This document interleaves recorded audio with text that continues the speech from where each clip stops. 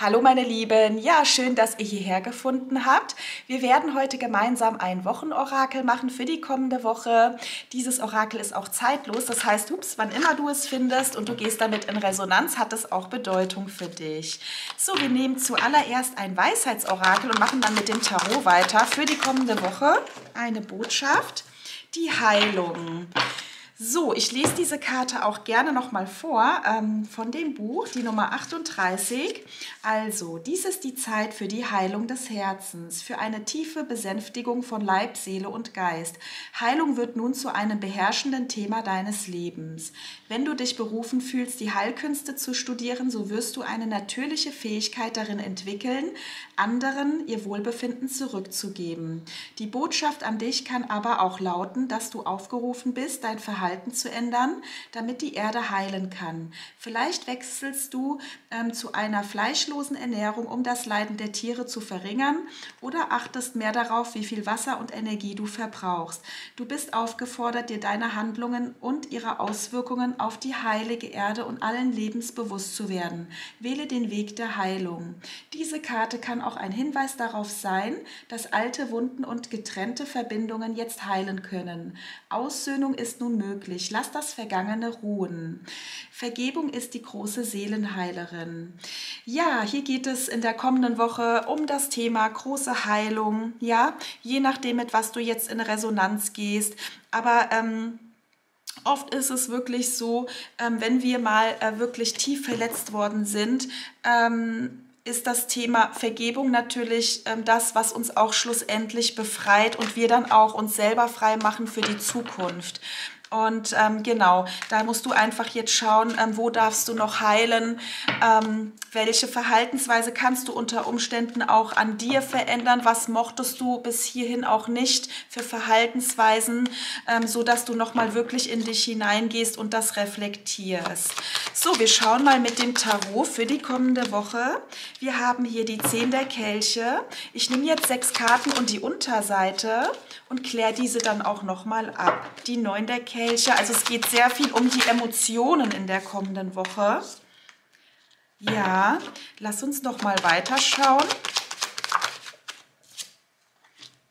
Also wir haben die 10 der Kelche, die 9 der Kelche, der König der Münzen, die Königin der Kelche, die 8 der Stäbe,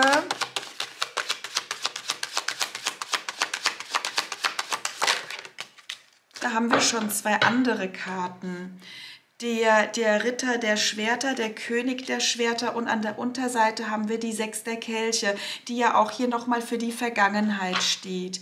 Genau, also wirklich hier nochmal, die Vergangenheit ist hier angezeigt. Vielleicht geht es da wirklich auch nochmal darum, die Vergangenheit jetzt in die Heilung zu bringen. Es muss jetzt auch gar nicht eine kürzliche ähm, Verletzung sein. Es kann, können auch Kindheitsthemen sein, die hier geheilt werden dürfen, um sich einfach frei zu machen für ähm, die Zukunft, ja, um vielleicht vielleicht gewisse Kreisläufe durch, zu durchbrechen. Mutterthema, Vaterthema. So, lass uns aber mal schauen für die kommende Woche auf die Zehn der Kelche. Da haben wir die ähm, sieben der Schwerter, genau. Ich mache jetzt die erste Reihe zuallererst. Auf die neun der Kelche haben wir die vier der Stäbe und auf den König der Münzen Da haben wir die zwei der Kelche. Ja, also hier geht es tatsächlich darum, ähm, hier ist schon ein anderer Mensch in deinem Energiefeld, der König der Münzen, ja.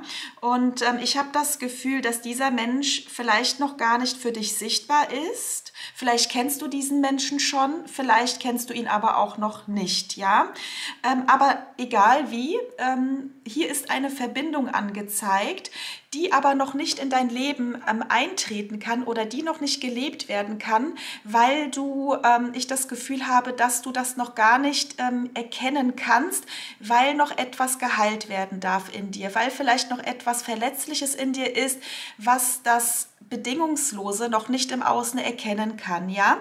Und hier geht es wirklich auch noch mal darum, ähm, sich noch mal ähm, seiner eigenen Schattenthemen zu stellen, nicht mehr davor wegzulaufen, ähm, sich wirklich bewusst zu machen, ähm, was oder warum ist etwas im Außen in der Vergangenheit passiert?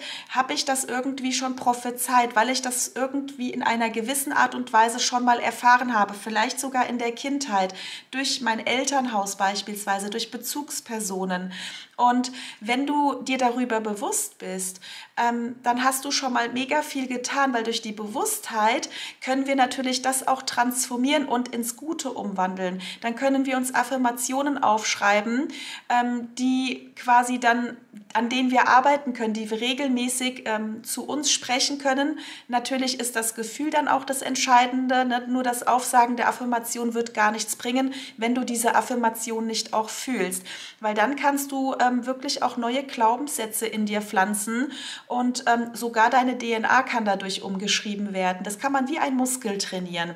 Und ich habe das Gefühl, ähm, das heißt, wenn du dich diesen Schattenthemen stellst, wirklich auch jetzt dein Herz heilst, ja, was dich irgendwie blockiert, was noch tief in dir sitzt, vielleicht hast du auch Ängste, jemanden ganz nah an dich ranzulassen, weil du Angst hast, verletzt zu werden oder du hast das Gefühl, für Liebe etwas tun zu müssen, ja, weil du es vielleicht auch so ähm, erzogen worden bist, dann, dass du diese Dinge ausfindig machst in dir, ähm, denn ich sag mal, die, die Liebe, dafür müssen wir nichts leisten, ja, du bist gut so, wie du bist, du bist einzigartig. Und so sobald du das an dir selber erkennst, werden das auch die anderen Menschen bei dir erkennen und vor allem wirst du auch einen Filter bekommen, einen anderen Filter, sodass du eben hier auch so etwas im Außen erkennen würdest. Ja, das heißt beispielsweise, wenn du jetzt noch sich so dicht davor wegschleißt, dann könnte dieser Mensch in dein Leben kommen und du würdest ihn gar nicht erkennen, weil das Unterbewusstsein, deine Glaubenssätze das noch gar nicht handeln könnten. Ja? Und ähm, wie gesagt, dieser Mensch ist schon in deinem Energiefeld und ähm, du darfst dich hier nur halt eben noch öffnen dafür, ja, noch so einen anderen Blickwinkel bekommen, damit die ganze Fülle, die ganzen Emotionen, ähm, die Liebe, das Glück wirklich auch in dein Leben kommen können und hier einfach auch so ein, auch ein stabiler Mensch in dein Leben treten kann, wo ihr euch beide erkennen werdet auf Augenhöhe und dann einfach auch eine wunderschöne Verbindung leben könnt, ja. Das ist ähm, sehr wahrscheinlich hier die Liebe, aber es können auch einfach tiefe Freundschaften sein. Ne? Einfach auch, dass endlich dein Seelenpartner in dein Leben kommen kann und ähm, ja, dass ihr einfach das auf Augenhöhe auch wirklich verbindlich leben könnt. Und dazu, um das ähm, leben zu können, ähm, genau, muss man sich erstmal über sich selber bewusst sein. Das heißt ja nicht, dass man fertig an sich gearbeitet haben muss. Ähm, man kann ja auch gemeinsam weiter wachsen. Wichtig ist einfach, dass man sich darüber bewusst wird, weil dann weiß man das auch zu handeln oder erkennt dann auch eigene Muster viel leichter. Genau. Ja, dann haben wir hier die Königin der ähm, Kelche. und der König der Kelche. Das ist hier so ein Power Couple, ne? Richtig cool. Ja, und ähm, hier haben wir einfach auch nochmal, ja, die Königin der Kelche und den König der Kelche. Da kommen dann einfach auch zwei emotional reife Menschen aufeinander zu. Ja, die haben ihre Selbstliebe, ihren eigenen Kelch gefüllt. Weil ich sag mal so, ja, wenn du dir ein Wasserglas vorstellst und das ist jetzt nur halb voll, dann, ähm, aber das Glas will immer ganz voll sein. Dann bist du so ähm, abhängig vom Außen, von wie die Leute reagieren auf dich. Ne? Dann fühlst du dich leichter getriggert. Tust du aber deine Selbstliebe wirklich bis nach oben hin füllen, dann ist dir eigen, mehr oder weniger ganz egal, was im Außen passiert, weil du alles gar nicht mehr persönlich nimmst, weil du selber dich so sehr mit Liebe näherst. Und genau das ist eben das, wo du auch emotional reife Menschen, die auch so in der Selbstliebe angekommen sind, die, die du dann auch triffst, triffst, mit denen du dann einfach auch diese emotional reife Verbindung führen kannst. Und das sind dann auch sehr oft diese stabilen Verbindungen auch, ja? Bedingungslosen Verbindungen auch, genau. Und ähm, das möchte hier einfach auch in dein Leben kommen. Das ist hier schon in deinem Energiefeld angezeigt, ja? Genau, du darfst das hier, wie gesagt, nur noch mal ganz genau anschauen. Der letzte Knackpunkt bei dir ist tatsächlich noch mal in die Heilung zu gehen und vor allem auch alles was dich verletzt hat in der Vergangenheit, diesen Menschen oder, oder Situation auch in die Vergebung zu gehen. Wirklich vergeben, diese Dinge oder Personen auch mit Liebe zu betrachten und egal, was sie dir angetan haben, vielleicht sogar auch Mitleid und Mitgefühl mit diesen Menschen haben, weil sie es vielleicht zu dem derzeitigen Zeitpunkt auch nicht besser machen konnten, weil sie einfach auch verletzte Kinder waren, ja? Dann fällt es einem oft leichter zu vergeben.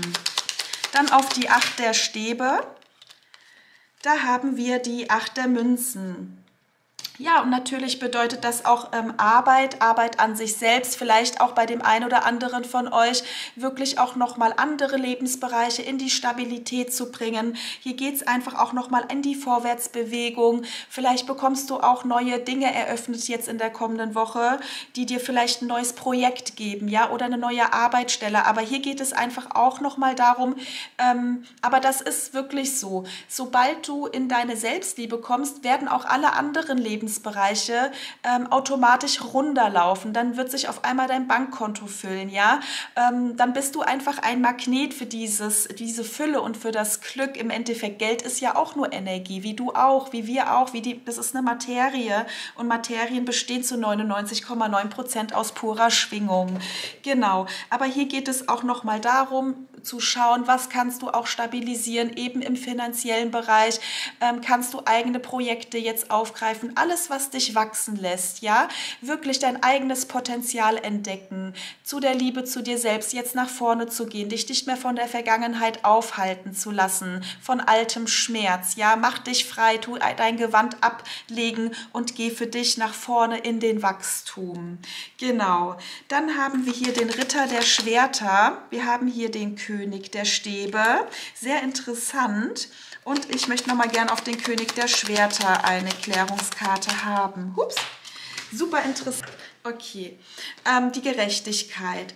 Ähm, also, hier habe ich auch noch mal das Gefühl, dass ähm, du hier, hier ist nämlich der Ritter der Schwerter mit dem König der Stäbe.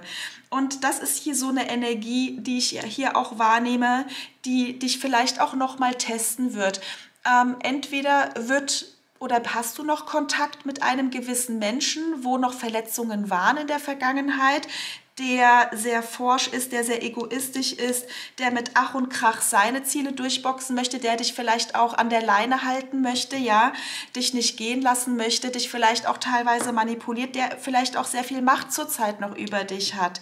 Und ähm, hier geht es schlussendlich darum, jetzt für dich ähm, auch wirklich ähm, in gewisser Art und Weise einen klaren Cut zu machen ähm, für dich, für deine Heilung, gewisse Dinge, Menschen vielleicht auch loszulassen, aber in der Vergebung. Ja, und für dich einfach auch diese Gerechtigkeit, eine klare Entscheidung jetzt zutreffen für dich, woran möchtest du noch festhalten oder wo kannst du loslassen, damit einfach jetzt hier auch das volle Glück in dein Leben kommen kann. Ja, gesunde Verbindungen, weil ich habe das Gefühl, hier ist doch noch auch ein Mensch, der ähm, dich irgendwie noch energetisch auch zurückhält.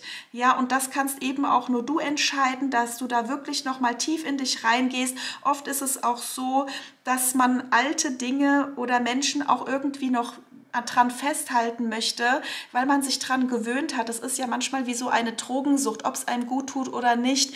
Aber dass du da wirklich nochmal ähm, dich dieser Situation stellst und wirklich jetzt schaust, wohin möchtest du denn?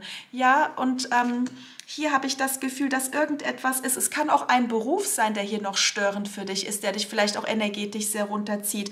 Ähm, oder ähm, noch ein anderer Partner oder Freund oder wie, irgendjemand, ja, ähm, dass du da für dich jetzt hier wirklich eine klare Entscheidung machst, dir wirklich über etwas klar wirst und da, dahingegen auch in gewisser Art und Weise ins Handeln kommst durch die männliche Energie, die hier angezeigt ist, ja, sodass du für dich eine Entscheidung triffst, die dich einfach ins Wachstum bringt und nach vorne bringt.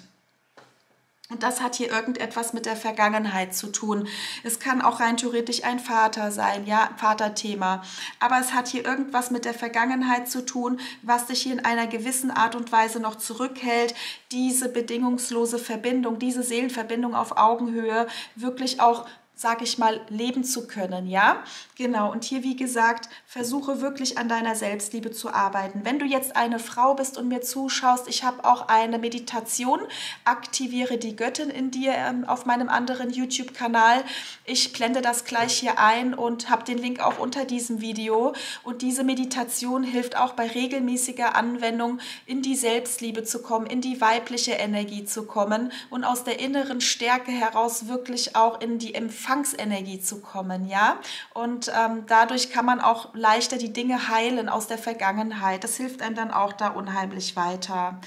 Ja, meine Lieben, dann schaut bitte, ob ihr in Resonanz damit gegangen seid. Und wenn euch die Legung gefallen hat, freue ich mich natürlich über ein Like, Kommentar oder auch Abo. Dann macht's gut. Tschüss.